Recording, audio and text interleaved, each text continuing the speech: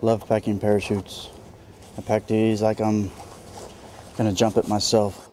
Been doing it for so long. Comes natural. That's why I love doing this. When I'm packing these parachutes, I pack these as my life is gonna be on these parachutes. To me, that's what means the most. If I can go to jump school, I would love it. Long story on that. They try to get us to go to jump school if you're with certain units. I was with rescue at Kadena. They tried to send us. Things didn't work out. You want to be part of the team. You want to be up there jumping with them, experiencing everything with them.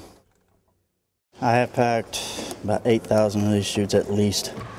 I've been packing parachutes since for 16 years. Now for a person that just starts out on these, these can be difficult, but over time you gain your techniques to make it easier on them. They can try and get some trip tricks and uh, techniques from me.